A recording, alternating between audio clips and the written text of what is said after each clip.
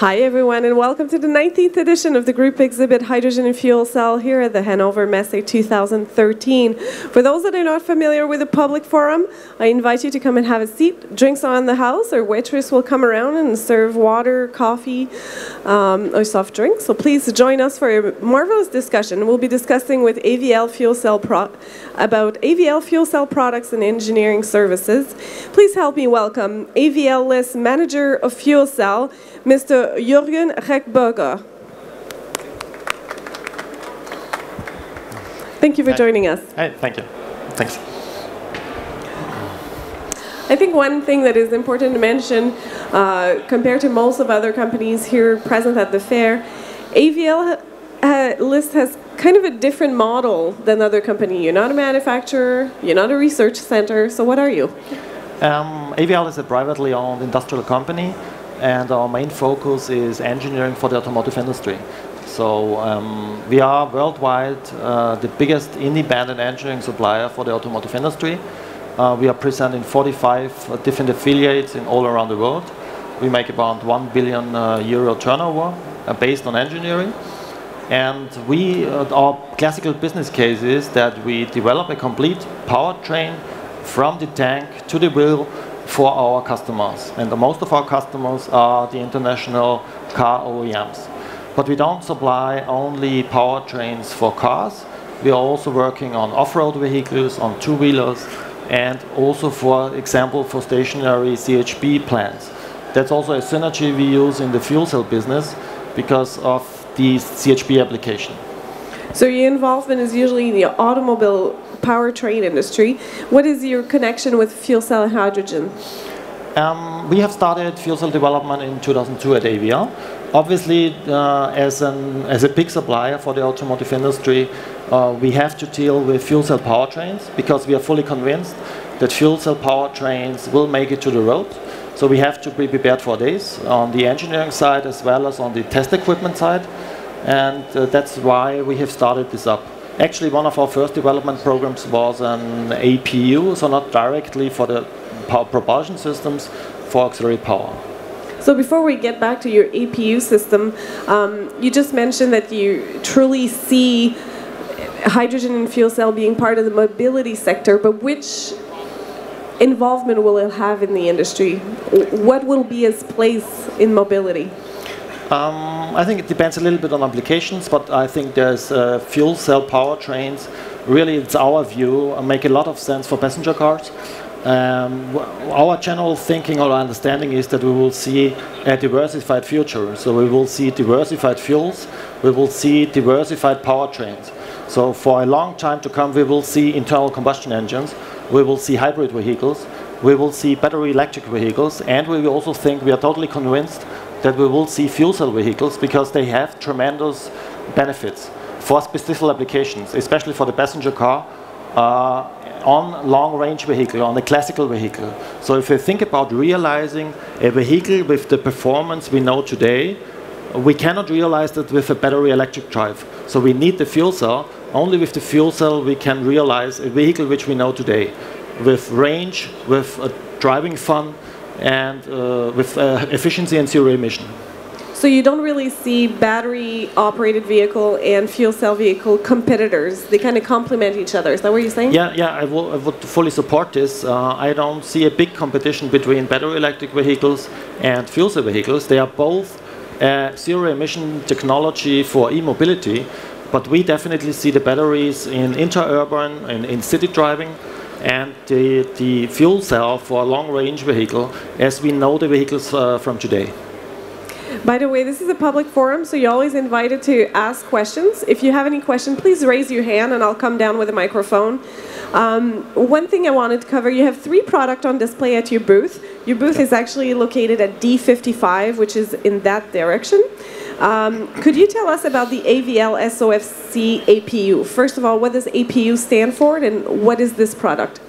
Uh, so the APU, APU stands for Auxiliary Power Unit, and it's a, a portable power generator which converts a conventional diesel fuel into 3 to 4 kilowatt of electric power.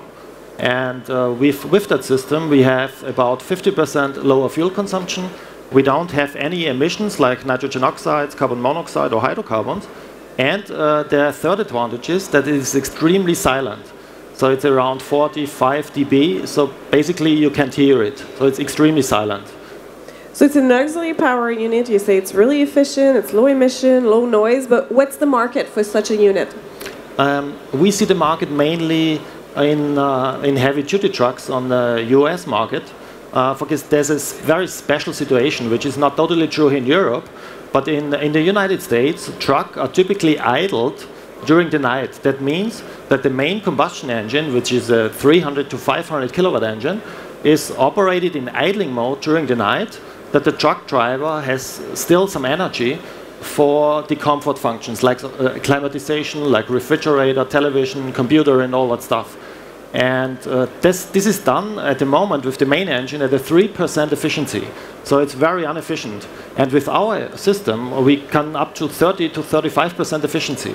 And that means we can dramatically reduce the fuel consumption of such a truck during idling mode, which means also a reduction in CO2 emissions by 90%. For some of the audience, I think they may be asking why would in the United States uh, trucks idle for eight hours overnight. I think it's important to mention that the train system um, in North America is not as good as in Europe, and therefore long range delivery are done by commercial trucks, and they often stay overnight because it's more than 12 hour drive and will idle overnight to keep, like you said, those uh, trucks running for TV, AC, um, and other needs that they need at night, which is very inefficient. So one of the questions co that comes to my mind is, you're not a manufacturer, so how do we get a hold of this unit? Um, yeah, that's a good question. Uh, so to understand the, uh, the AVL business model, we are not manufacturing, we are a purely engineering company. So typically we support our customers from the scratch till start of production of a product. Uh, so we, we don't do uh, manufacturing of end customer products. And for this APU specific product, we offer this product based on license agreements for manufacturing partner. There is already one license agreement in place. So we have already licensed this technology to the Netherlands company HiRev Power. And HiRev Power will start uh, manufacturing this product as series products in 2016 for the defense and maritime industry. So is this is an exclusive license, or if we have other people that are interested in this APU unit, could they be part licensing as well? Yes, of course, it's possible. Uh, the license we have at the moment is non-exclusive, and it's also limited to Europe. So we are quite flexible in, uh, in uh, business negotiations. So could I say you're actually looking for a partner for the uh, idling of truck? Yeah, of course. There, there are some discussions ongoing. We have three major truck tier one suppliers interested in this technology and uh, we will try to also get a, a, license agreement for the truck application in place and we hope that we also can bring this product to the truck market in 2016-17. Okay, and then one other product you have on display is your THDA unit. Can you tell us what THDA stands for and what's the unit all about? Yeah, so the THDA stands for Total Harmonic Distortion Analysis, and this is a low-cost stack monitoring device, uh, which we intend to bring into fuel cell vehicles to monitor the status of the PEM fuel cell stack. And it's actually a, complete, a really aggressive low-cost approach. So what we do is we just measure one voltage, the complete stack voltage, and based on some signals we uh, implement, we can detect more or less all critical failure modes of PEM fuel cells. For example, what we ha already have demonstrated in automotive fuel cell stacks is we can detect uh, fuel starvations on anode and cathode side, we can detect membrane drying, and uh, we can detect uh, also some water droplet issues in the stack. And there's two type of, of this unit in two yep. different models, one for lab and one for the end user. Yeah. Um, can you expand on this subject a little bit? Uh, that's true. We have this product on two, two platforms. One platform is a laboratory device, so you just bring into a laboratory, connect it to the stack, and you turn it on. And the other thing is that we want to bring this into fuel cell vehicles. And the big advantage of this is that it doesn't add any hardware to the fuel cell vehicle. So the hardware cost of it is zero. It's just an algorithm you place into the vehicle control unit. Because the, the signals we need can be created by the power electronics in the vehicle. And you have already have shared that al- algorithm with some car manufacturer, I believe. Uh, we have already uh, brought that into the fuel cell vehicle development programs of six major car OEMs. And with one Japanese company, we are very much focusing on bringing this into the fuel cell vehicles. And any other manufacturer that may be interested in that algorithm can come and see Yeah, you at your booth for sure at D55 again, which is in that direction. Questions are always welcome from the public, so please raise your hand if you have more.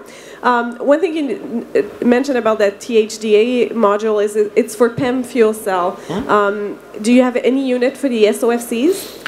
Uh, yes, that's under development at the moment. Uh, so we got some inquiries from the industry that this is also a, a very interesting uh, platform for SOFC, and we have started an internal R&D project, and we think we can make this available for SOFC within 2014. So it, it's coming. Not Yeah. there, but coming. um, come back next year. Maybe we'll have the result by then. And uh, you also have on display your AVL Fire CFD code. Can you tell us what that is? Yeah, the, Fire CFD code is also uh, an engineering uh, tool for actually PEM fuel cells and the automotive industry.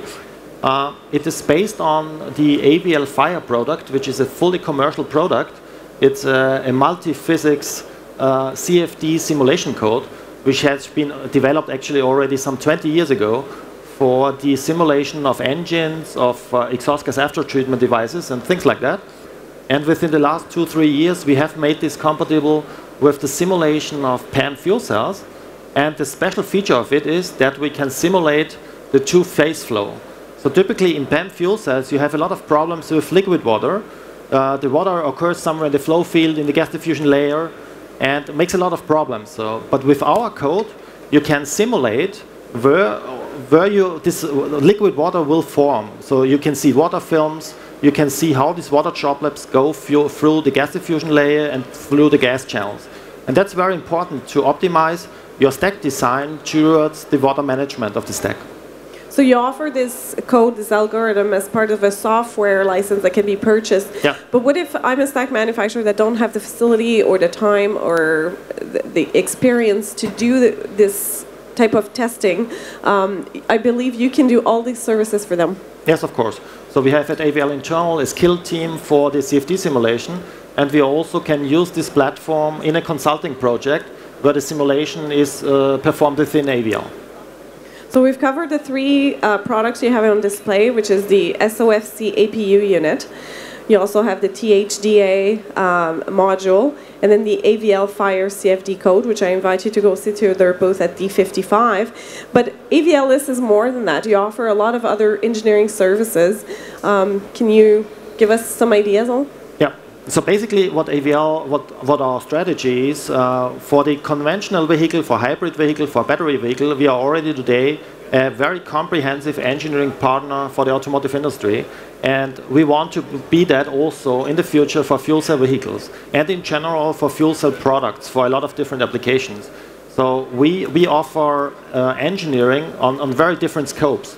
We do very small projects, for example, on uh, only small technical consulting or business consulting, to very big projects, multi-million dollar projects, where we develop complete fuel cell systems for the customer from the scratch to start of production. And uh, within that, we can support on various topics. For example, we do a lot of consulting on systematic durability and reliability development. We can do uh, customer specific media supply, for example, compressors and air blowers for the fuel cell industry. We are also very heavily working on a CHP product. So we have at AVL a 10 kilowatt CHP, SOFC CHP system prototype, which is running at the moment, which efficiency is between 50 to 60 percent. So there's a, there are a lot of things where AVL can support fuel cell development programs. You have consulting services as well. Yes. We have an own uh, company for this in Germany that's called uh, Strategy Engineers, and these guys are only doing business consulting. Well, unfortunately, we're running out of time, so we'll have to finish this interview at this point. But please help me thank uh, Mr. Jör uh, Reckenberger for his time. It was a pleasure to have you with us. Thank you very much. Thank you very much.